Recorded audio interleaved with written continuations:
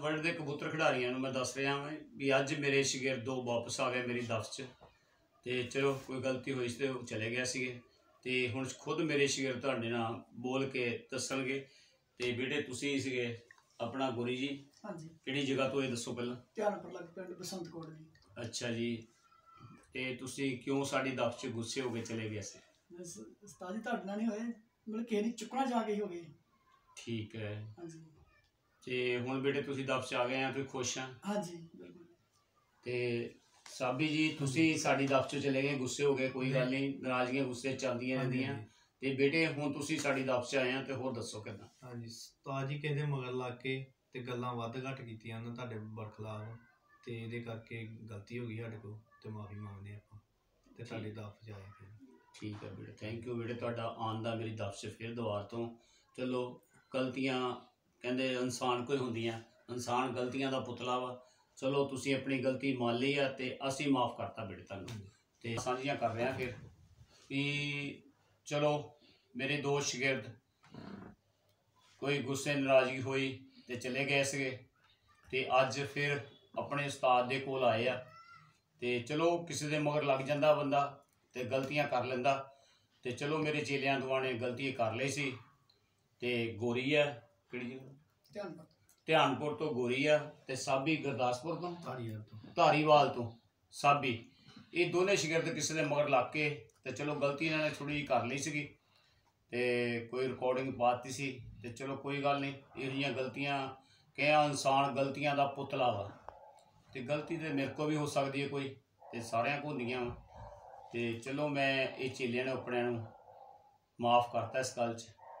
ਤੇ ਚੇਲੇ ਮੇਰੇ ਕੋ ਆ ਗਏ ਚੱਲ ਕੇ ਤੇ ਮੇਰਾ ਫਰਜ਼ ਆ ਤੇ ਨਾਲ ਆਪਣੇ ਗੁਰਭਾਈ ਸ਼ੇਰੇ ਨੂੰ ਲੈ ਕੇ ਆਏ ਆ ਤੇ ਵੀਰੂ ਨੂੰ ਲੈ ਕੇ ਆਏ ਆ ਤੇ ਆਪਾਂ ਹੁਣ ਅੱਜ ਉਹ ਕਹਿੰਦੇ ਨਾ ਉਸਤਾਦ ਕੁਝ ਗਲਤੀ ਮੰਨ ਲੈਂਦੇ ਆ ਤੇ ਉਦੋਂ ਉਸਤਾਦ ਮਾਫ ਕਰ ਦਿੰਦਾ ਵਾ ਤੇ ਅੱਜ ਉਸਤਾਦ ਦਾ ਫਿਰ ਉਹ ਕਹਿੰਦੇ ਨਾ ਇਹਨਾਂ ਨੇ ਮਿੱਠਾ ਮੂੰਹ ਕਰਾਣਾ ਵਾ ਤੇ ਉਹ ਸ਼ੇਰੇ ਭਾਜੀ ਹੁਣ ਦੱਸਣਗੇ ਤੇ ਮੇਰਾ ਮਿੱਠਾ ਮੂੰਹ ਕਰਾਣਗੇ ਤੇ ਮੈਂ ਇਹਨਾਂ ਦਾ ਕਰਾਉਂਗਾ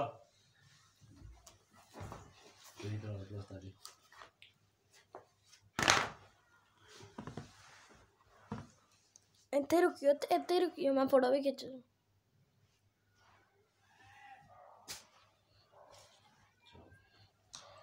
ਲੈ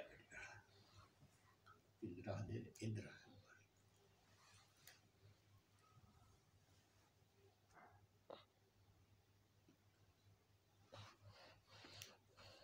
ਲਓ ਵੀ, ਖਾਓ ਗੋਲੇ ਦਾ ਆ ਲੈ ਗੁੜ ਤੋਂ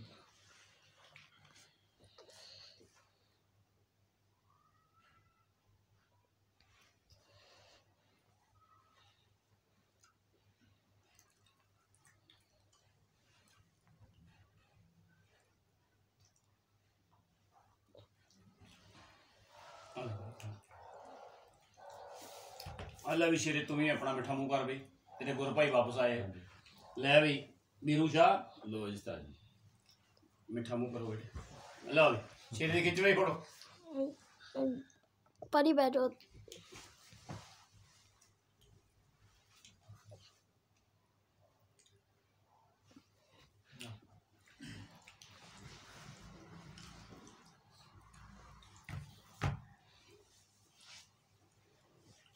ਚਲੋ, ਬੜੀ ਖੁਸ਼ੀ ਹੋਈ ਹੈ ਸਾਨੂੰ ਤੇ ਸਾਡੇ ਚੇਲੇ ਵਾਪਸ ਹੋ ਗਏ ਸਾਡੀ ਦਫ਼ 'ਚ ਤੇ ਉਸਤਾਦ ਦਾ ਹੁੰਦਾ ਫਰਜ਼ ਆ ਤੇ ਜੋ ਉਸਤਾਦ ਨਾਲ ਕਰਦੇ ਆ ਚੇਲੇ ਤੇ ਬਹੁਤ ਵਧੀਆ ਕਰਦੇ ਆ ਤੇ ਆਪਣਾ ਇੱਜ਼ਤ ਮਾਣ ਬਹੁਤ ਦਿੰਦੇ ਮੇਰੇ ਸ਼ਾਗਿਰਦ ਤੇ ਸ਼ੇਰਾ ਵੀ ਬਹੁਤ ਇੱਜ਼ਤ ਮਾਣ ਦਿੰਦਾ ਤੇ ਵੀਰੂ ਵੀ ਬਹੁਤ ਦਿੰਦਾ ਤੇ ਹੁਣ ਸਾਡੇ ਵਾਪਸ ਆ ਗਏ ਚੇਲੇ, ਹੋਰ ਮਾਣ ਦੇਣਗੇ ਸਾਨੂੰ ਤੇ ਇਹ ਨਾ ਸੋਚਣ ਵੀ ਆਪਾਂ ਜਿਹੜੀਆਂ ਲੋਕਾਂ ਦੇ ਮਗਰ ਲੱਗ ਜਾਂਦੇ ਆ ਵੀ ਜੇ ਲੈਚੀਆਂ ਬਣਦੀਆਂ ਵਾਪਸ ਉਹ ਗੱਲ ਨਹੀਂ ਬਣਦੀ।